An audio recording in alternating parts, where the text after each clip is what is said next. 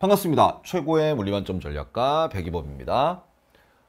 어, 지난주에 폭설이 내렸었고 그 폭설 이후에 굉장히 그 강추위가 전국을 강타했죠.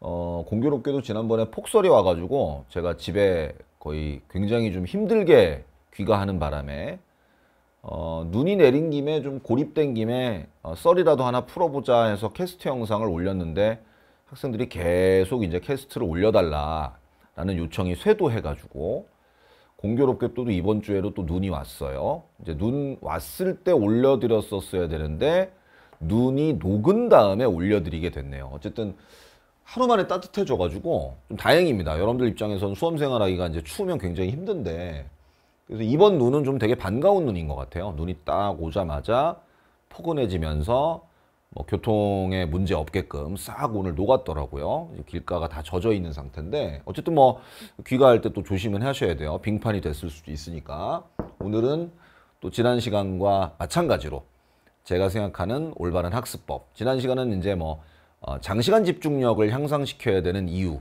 우리가 뭐 기초 체력이죠. 그러니까 뭐 수험 생활을 하기 위해 필요한 몸을 만들자. 뭐 이런 주제로 제가 썰을 좀 풀었었는데 요번에는 이제 요런 썰을 좀 풀어볼까 합니다. 자, 말 뭐 요약하자면 학습량을 뛰어넘는 학습법은 없다. 제가 이제 이맘때 특히 겨울 방학 때 학생들에게 이제 강의 중에서도 이제 이런 얘기들을 좀 많이 합니다. 이제 올해는 안타깝게도 현장 강의에서 이런 얘기를 또 특히, 특히나 많이 풀었었는데 현장 강의가 없어서 어, 전체 학생들과 좀 공유하기 위해서 좀 캐스트 영상을 찍어봤고요. 이 얘기는 무슨 얘기냐면 지금 이 시기하고 딱 맞아요. 뭐냐면 지금 이 시기에 여러분들의 고민이 보통 이런 거예요. 아, 어떤 강의를 들을까? 그죠? 그 다음에 어떤 교재를 풀까? 그죠? 예. 좀더 효율적인 효율적인 학습법은 뭘까? 또는 뭐 이제 요새는 유튜브 영상들도 워낙 많으니까 뭐 만점자 수기, 후기 뭐 이런 거 만점자들은 도대체 어떻게 공부했을까? 만점자들의 만점 학습법은 뭘까? 뭐 에? 어, 의대 가는 애들은 도대체 뭐 약대 가는 애들, 의대 가는 애들 오늘 약대도 포함됐으니까 어쨌든 의대 가는 애들은 어떤 공부를 어떤 교재를 가지고 어떻게 했을까? 계획을 어떻게 세워서 어떻게 실천했을까라는 부분에 굉장히 관심이 많습니다. 저도 그랬고요. 수험생, 본격적인 이제 수험생, 고3 수험생이 되, 다 보면 어떤 강의를 가지고 어떤 교재를 풀고 조금이라도 좀 시간을 좀 아끼는 좀 효율적으로 사용할 수 있는 그런 학습법. 투자 대비, 그죠? 시간을 좀 적게 투자하고 경제적인 거죠. 그러니까 시간을 좀 적게 투자하고 효과는 극대화할 수 있는 그런 학습법. 그리고 이제 만점을 받은 학생들은 도대체 어떻게 공부했을까라는 것들에 대한 고민을 많이 합니다. 물론 중요하죠. 자기와 상성이 맞는 선생님, 자기와 좀 스타일이 잘 맞는, 자기의 부족한 부분들을 잘 채워줄 수 있는 강의. 뭐 그런 강의를 찾는 건뭐 뭐 당연히 본능이고 중요합니다. 또 자기의 부족한 부분들을 잘 또 메꿔줄 수 있는 좋은 교재, 좋은 문제집. 말 그대로 또 학습법도 중요하거든요. 또 만점자들은 뭔가 또 만점자들만의 비법이라고 표현하긴 좀 그렇지만 노력이 있었겠죠. 범상치 않은 비범한 노력들이 있었을 겁니다. 그들의 또 이야기를 들으면서 깨달음을 얻고 교훈을 얻는 것은 굉장히 중요하다고 봐요. 하지만 이 모든 걸 초, 초과하는 것이 바로 뭐냐? 전 제 생각으론 학습량이라는 거예요. 그렇죠? 자꾸 이제 어, 어찌 보면은 그 학습 시장이 이것도 시장이라고 표현해 볼까요? 마켓이라고 표현해 보면 이 수능 시험 또는 뭐 이 입시 시장이 고도화되고 있죠. 예전보다는 점점 점점 좋은 강의, 좋은 교재, 좋은 학습법, 여러 이제 매체들, 미디어들이 발달을 하면서 어, 좋은 어, 나만의 방법, 나만의 공부 방법 이런 것들이 공유가 되고 고도화되고 있어요. 당연히 뭐 좋은 현상이긴 한데 근데 저는 이제 그런 것들을 바라보면서 약간 씁쓸한 게 뭐냐면 이게 우선이어서는 안 된다라는 생각이에요. 약간 좀 어떻게 보면 오늘은 좀 여러분들 표현으로는 아주 꼰대 같은데 뭐 이런 생각할 수도 있고 좀 낡은 거 아닌가? 음, 좀 정서적으로 받아들이기 힘들다 이런 학생들도 있을 겁니다. 근데 제가 수험생들을 꽤 오랫동안 지켜봤잖아요. 뭐 단과 수업을 하면서 현장에서도 학생들을 뭐 1년간 이렇게 지켜봤고 단연간 이렇게 지켜봤고 또 인강을 듣는 학생들과도 뭐 소통을 하면서 지켜본 학생들이 꽤 많고요. 예전에 또 재수종합반에서 강의를 할 때는 재수종합반은 이제 1년 생활 밀착형으로 또 학생들을 만나다 보니까 심지어 제가 또 1년 정도는 담임도 했었습니다. 뭐 경험을 쌓아보고 싶다라는 의미로 담임도 했었고요.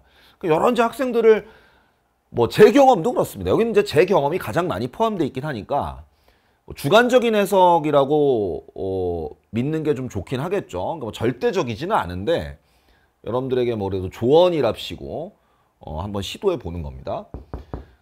그 모든 어떤 학습법 또는 뭐 학습 도구를 초월하는 게 바로 이제 학습량이다. 제 얘기를 좀 잠깐 해보자면 제가 고등학교 1학년 때였어요. 고3 때 얘기는 조금 있다 하고요. 고등학교 1학년 때였습니다. 고등학교 1학년 때 사실 이건 이제 다음에도 한번 제가 또 한번 별도로 할 얘기긴 한데 이 고등학교 1학년 때 제가 어떻게 보냈냐면 그러니까 중학교 때까지는 제가 공부를 좀 잘했습니다. 뭐 잘한 척은 아니고요. 뭐 전교권에서 놀았거든요. 그러니까 어느 정도 이제 공부를 좀 잘해서 나름 프라이드가 있었단 말이에요. 근데 대부분의 경우에 이제 이 중학교에서 고등학교로 올라가게 되면 꽤 여러 학교에서 이제 모여들다 보니까 성적이 좀 하락하는 경우들이 발생해요. 제가 여기서 이제 뭐 이게 등수를 밝히기는 조금 애매하긴 합니다만 그래도 밝혀볼까요? 이게 전교 2등을 했었는데 저보다 꼭 저를 꼭 완전히 저를 제압하는 그 1등 여학생이 한 명 있었고요. 이제 2등 정도를 했었어요. 사실 뭐 저희 중학교가 그렇게 뭐 우수한 명문 학교는 아니어서 뭐 이게 대단한 건 아니었고 열심히 하는 편이었죠. 근데 이제 고등학교 1학년 올라갔는데 좀 충격적이었어요. 반에서 10등으로 밀려난 거예요. 물론 이렇게도 해석이 가능합니다. 선생님 도대체 어떤 중학교를 나온 거죠? 뭐 이제 이런 해석도 가능합니다. 반에서 10등으로 밀려나서 처음에 이게 예전에는 뭐 반배치고사 뭐 이런 게 있었거든요. 좀 오래된 얘기인가? 그 뭐몇 년 전까지만 하더라도 있던 제도라고 알아두시면 되겠습니다. 그래서 어쨌든 간에 뭐 이런 이제 배치 고사를 봤는데 어 반에서 10등 정도로 추락을 한 거예요. 너무 충격적이었죠. 한 번도 해본 적이 없는 등수였는데 정신적인 충격을 먹었어요. 그리고선 어 제가 이제 담임이 시키는 걸 이건 좀 나쁜 얘기로 들릴 수도 있는데 담임이 시키는 뭐 예를 들면 뭐, 뭐 학과 담임 선생님들, 학과 담당 선생님들이 시키는 대로 공부를 하면 이 비정상적인 상황을 저에게는 비정상적인 상황이었기 때문에 이 비정상적인 상황을 극복하기는 좀 힘들겠다. 그래서 저는 이제 어떤 생각을 했냐면 얘가 좀 약간 삼천포긴 합니다만 국어, 뭐 영어, 수학, 뭐 사회, 과학 과목이 되게 많잖아요. 과목이 되게 많은데 이 과목을 뭐 하루에 뭐 얘는 한시간 얘는 한시간 뭐 얘 두시간 얘 뭐 한 삼십 분 얘 뭐 한시간 이런 식으로 공부해 가지고는 정해진 시간에 뭔가 획기적인 성적 형상이 힘들 것 같더라고요.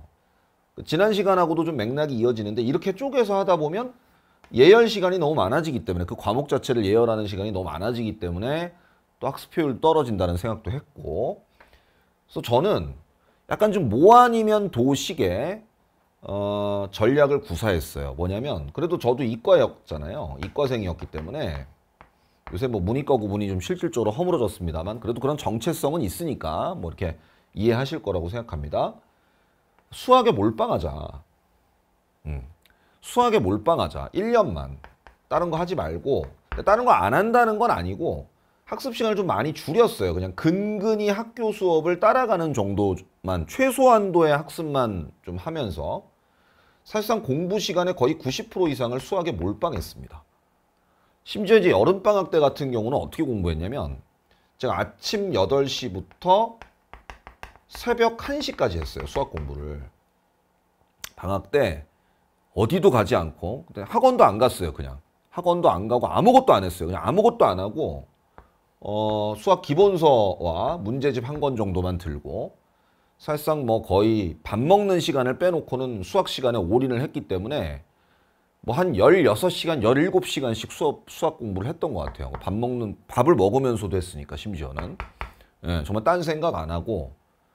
그래서 제가 고등학교 1학년 때 고3 수학까지 다 끝냈던 것 같아요. 아예. 1년을 이렇게 하니까, 뭐 요새는 잘 안 보는 책이긴 하죠. 잘 안 보는 책이어서 좀 이런 얘기를 하면 되게 나이 들어 보일 것 같긴 한데, 그래도 한때는 좀, 어, 전국 수학 시장을 강타했던 뭐 요새도 보나 정석이라는 책이 있잖아요. 광고는 아니고요. 이 책이 있잖아요. 이 책을 어, 참고로 실력 정석을 봤었는데 이 책을 일곱 번을 봤습니다. 1년 동안. 가능하더라고요. 어떻게 이걸 1년 동안 일곱 번을 보느냐? 결국에는 이제 학습량이죠. 많이 했어요. 그냥 저는 이제 왜 그래서 쌤은 잘 가장 자신 있는 과목 고교 시절 때 가장 자신 있는 과목이 뭐냐라고 하면 지금 과학 강사를 하고 있지만 당연히 수학이 제일 자신이 있었거든요. 근데 뭐 부끄럽습니다만 수학이 가장 자신 있었던 이유는 요 1년이었어요. 요 1년 동안 올인했습니다. 그냥 뭐 특별한 학습법이 있느냐? 뭐 좋은 강의를 본 거냐? 그렇지도 않아요. 학원을 다니지도 않았습니다. 그 왔다 갔다 하는 시간조차도 너무 아까웠어요. 당시에는. 그리고 저희 때는 너무 옛날 얘기 같지만 이렇게 고도화된 학습 교재나 강의도 이렇게 많지는 않았습니다. 그래서 뭐 지금 학생들이 좀 어떤 면에서는 부럽기도 해요. 우리 시절보다는 너무나 좋은 강의들을 너무나 오픈 돼 있잖아요. 너무나 그 명강의들, 유명 강사들의 명강의들이 전국적으로 이렇게 집에서 편안하게 볼 수 있는 좋은 시절이 와서 참 부럽기도 해요, 사실은. 제가 지금 고등학생이라면 좀 공부할 맛이 날 것 같기도 하다. 저도 다른 선생님들 강의를 가끔 샘플만 이렇게 한 번씩 볼 때 너무 잘 가르치잖아요. 재미나게. 그래서 이제 그 당시엔 뭐 그런 것도 별로 없었기 때문에 그냥 미친 듯이 공부한 거예요. 그래서 그냥 고3 수학까지 그러니까 다시 말하면 그 당시엔 정석이 이제 꼭 해야 될 정석이 세 권이 있었는데 뭐 그 세 권을 일곱 번씩 봤습니다. 심지어 저는 답을 보지도 않았어요. 제가 푼 문제만 제가 이제 풀이를 한 문제만 해설지를 읽어봤고요. 그래서 틀린 게 있으면 좀 정리를 했고 아예 못 풀겠는 문제는 그냥 체크만 했어요. 왜냐면 이제 해설을 보면은 이해는 되겠지만 휘발성이 강하다라는 생각을 많이 했습니다. 내가 시험장에 들고 가지 못할 지식을 억지로 우겨 넣지는 말자. 내가 뭔가 하나의 관점을 생성했다면 어떤 문제풀이의 관점을 개념으로부터 생성했다면 그건 맞든 틀리든 확인을 해야 되는 거잖아요.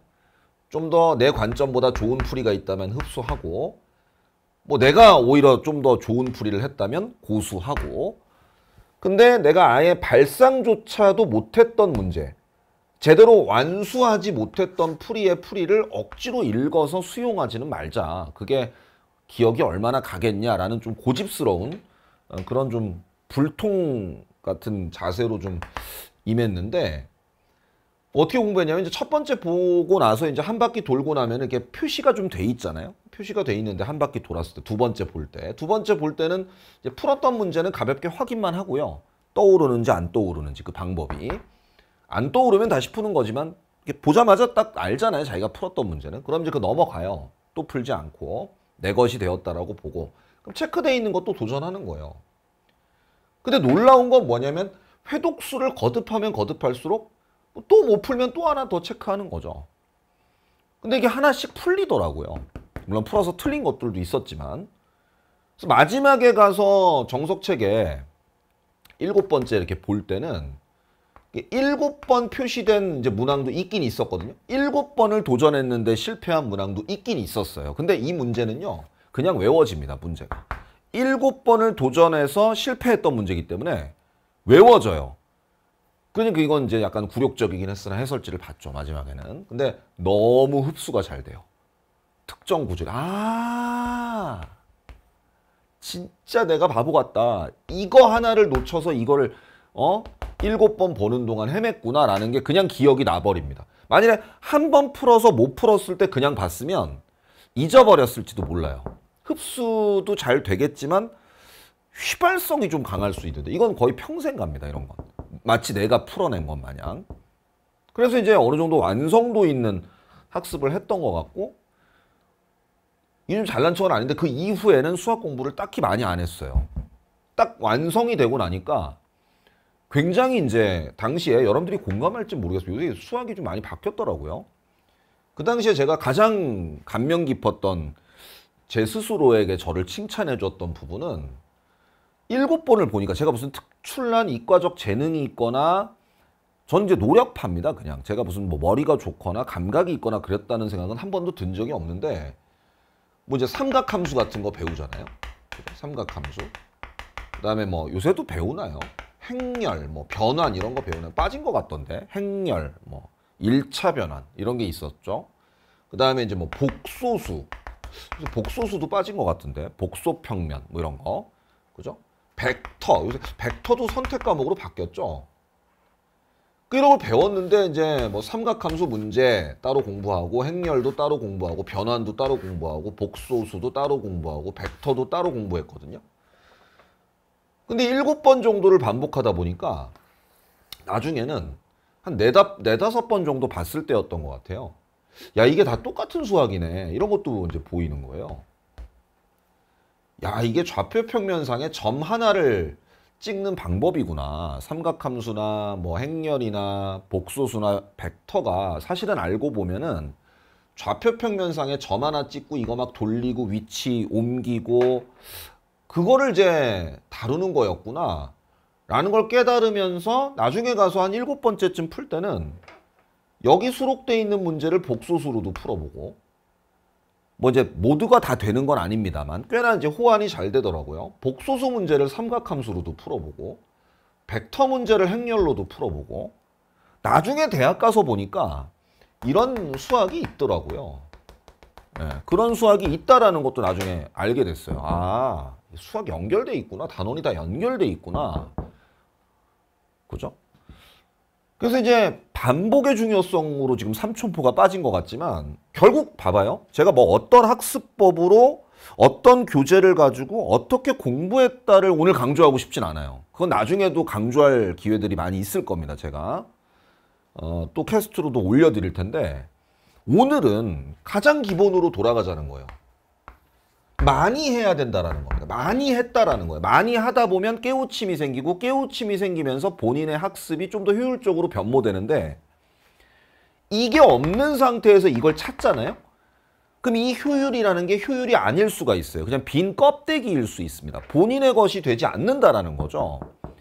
그러니까 이런 좋은 강의, 좋은 교재, 좋은 학습법, 좋은 수기들을 읽고 그게 자기의 것이 자기 내면화라고 하는데 자기의 것이 되려면 일단 바탕은 많이 해야 됩니다. 많이 하지 않으면서 강의가 날 구원해 줄 거야. 어?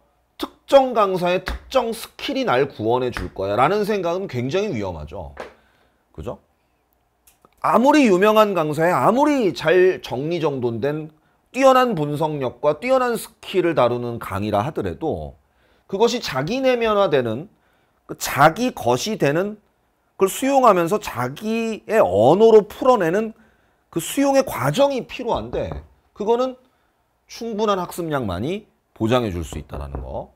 이게 깊, 그러니까 다시 말하면 어떤 우리가 이제 만점이라고 하는 여러분들이 알고 있는 뭐, 뭐, 뭐 목표 설정해 놓은 목표가 있을 텐데 이 목표를 이루는 뭐 기둥이 될 수는 있죠. 좋은 강의를 들었어요. 좋은 교재를 풀었어요. 또는 아주 효율적이고도 고도화된 학습법을 이용해서 나는 이런 목표를 달성했습니다. 맞아요. 근데 그건 그 밑에 토대가 깔려 있는 거예요. 학습량이라는 토대 없이는 다 흔들립니다. 어, 언젠가는 무너지는 모래성을 쌓고 있는 거죠.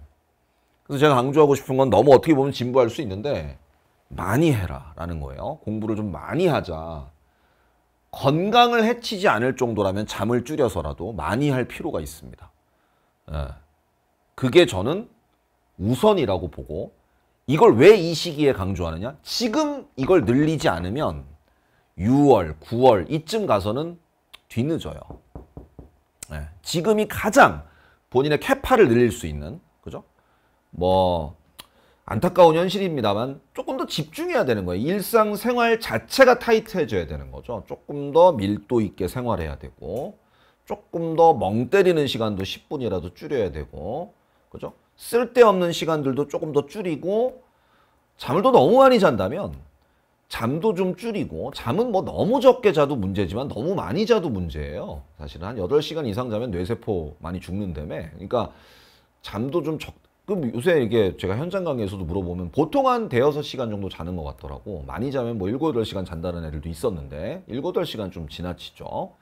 뭐 두세 시간 자란 얘기는 안 합니다. 그러면 생활 자체가 좀 힘들어지니까 몸도 건강도 해칠 수 있고 저는 네시간에서 여섯 시간 사이가 좀 적당한 것 같아요. 저 지금도 전제 수면 시간은 한 네시간에서 여섯 시간 사이인데 전혀 사는데 지장이 없습니다. 여러분들도 좀 건강하시다면 건강을 해치지 않는 범위. 그러니까 4시간 이하로 자면 되게 피곤해요. 저도 가끔 바쁘면 잠을 되게 적게 잘 때가 있는데 그런 막 낮에 좀 꾸벅꾸벅 졸고 효율이 좀 떨어지더라고요. 근데 한 4시간에서 6시간 사이를 으, 자면 어느 정도는 생활이 좀 충분히 건강한 상태로 가능하고 충분한 시간도 좀 확보가 되고 물론 이제 앉아 있는 시간 동안 집중하는 것도 이제 지난 시간에 말씀드렸던 것처럼 되게 중요하겠습니다만 일단은 충분히 본인의 어떤 학습 양을 늘리자. 음. 오늘 약간 얘기했던 것 중에 좀 주제가 다음번에 다룰 내용도 있어요. 이게 몰빵 학습의 중요성이라고 해서 이제 그 선택적으로 전략적으로 이제 어떤 특정 시기에 승부수를 거는 학습에 대해서는 이제 요건 약간 호불호는 있을 것 같은데 제가 좀 사례도 소개하고 뭐 이렇게 또 다뤄드리는 캐스트를 또 찍도록 하겠고요. 오늘은 뭐 하나입니다. 그 어떤 도구도 학습량이라는 토대 위에서만 빛을 발할 수 있다라고 하는 것들 아주 평범한 진리를 여러분들과 뭐 눈이 온 김에 좀 나눠봤고요. 또 이후에도 계속 지속적으로 여러분들을 좀 찾아뵙도록 하겠습니다. 여러분들을 좀 자극시켜 드릴 수 있는 자극이 됐나 모르겠네. 음. 한 귀로 듣고 한 귀로 흘려들어도 돼요 사실은 캐스트는 그렇게 편안한 맛에 듣는 거죠 공부 조금 안 될 때 남의 얘기 이렇게 들으면서 공감되면은 하시면 되고 공감이 영 안 되면은 또 안 해도 됩니다. 이건 뭐 이게 제가 무슨 물리학 강의 하는 게 아니기 때문에 하여튼 제 경험과 제 관점을 여러분들과 함께 뭐 공유해 보고 싶은 마음에서 그리고 여러분들에게 좀 응원 또는 격려, 조언 뭐 이런 음, 관점에서 이제 편하게 푸는 썰이니까 편하게 들으시고 공감되었다면 또 가열차게 실천하면 더 좋을 것 같고요. 하여튼 뭐 겨울인데 감기, 코로나 조심하시고 다음 주에도 또 유익한 재미난 썰을 가지고 또 찾아뵙도록 하겠습니다. 네, 굉장히 고생 많았어요. 감사합니다.